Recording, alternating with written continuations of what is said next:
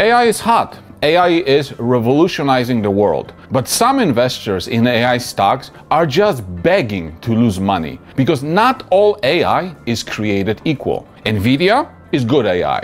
Palantir is good AI. CoreWeave is not so good AI. Nebius Group is not so good AI. And I am talking about their businesses, not their stocks. Imagine this the world has no clothes, there is no clothing industry. Everybody is either naked or they wear some kind of primitive clothing that they made themselves out of leaves or tree branches. And then, boom, all of a sudden, clothing revolution spreads like wildfire. The demand for clothing is out of this world. People want clothing for work, for school, for leisure, for sports, for sleeping. And a company like Nvidia starts producing these clothes for everybody. This company is the best. These clothes feel amazing and they look amazing. Yes, there are other companies like AMD, but their clothes don't feel as right and they don't look as amazing as Nvidia's clothes. Then there is a company like Palantir that creates a proprietary software that nobody has. This software helps you pick the right clothes that Nvidia makes in order to create an even better look and amazingness. Then there are other companies like CoreWeave and Nebius Group that came up with a brilliant idea. If people want to buy clothes, then maybe we can buy up a big inventory of clothes from Nvidia and then rent them out to people. Because the clothing boom is so big and so revolutionary, investors buy up the stocks of all of these companies involved in the disruptive clothing industry. But are all these businesses created equal? Just because the clothing industry is new, disruptive, and futuristic, does it mean that all of these companies will make shareholders rich? Well, let's analyze this. Nvidia makes all the clothing and therefore generates repeatable revenues because styles change, new models are introduced, and existing clothing becomes extinct. Palantir makes all the software that makes people look good in the clothes. They charge recurring revenues, and people constantly need these services. Again, repeatable and recurring revenues with high margins. What about CoreWeave and Nebius Group that rent out clothing for a fee? First, they have to spend a lot of capital buying huge inventories or rental pools. But the problem is that this inventory depreciates fast and becomes obsolete. Nvidia keeps coming up with new clothing styles, making the old styles obsolete. CoreWeave and Nebius Group have to constantly be plowing incredible amounts of capital into growing and replenishing the rental pools.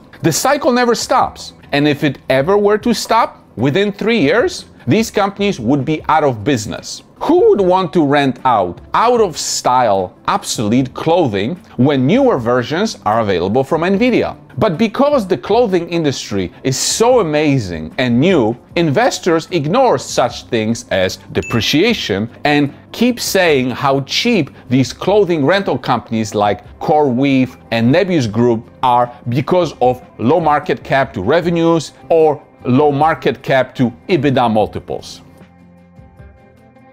I know, I know, I know. AI is hot. AI is amazing, but renting out GPUs like CoreWeave and Nebius Group do is like renting out clothes, computers, or cars. Okay, you buy a bunch of Blackwell GPUs and you build an amazing data center. Everybody's impressed because the industry is so desperate for computing power. You sign contracts with Facebook, Google, and Amazon for the rental of these GPUs. Your revenues explode. Your investors are impressed. They buy the stock. You print a bunch of shares at overvalued prices, or you borrow money to buy more Blackwell GPUs. Your revenues grow even more. Your investors, of course, ignore the depreciation and keep quoting EBITDA as if it meant something.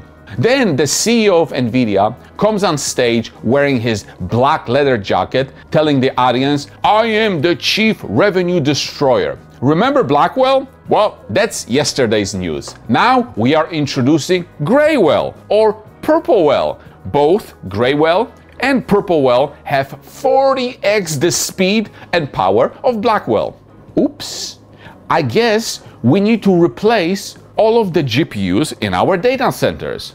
It's going to be expensive, but if we don't, our clients are going to go elsewhere where they can get more speed and power from the Graywell or Purplewell GPUs.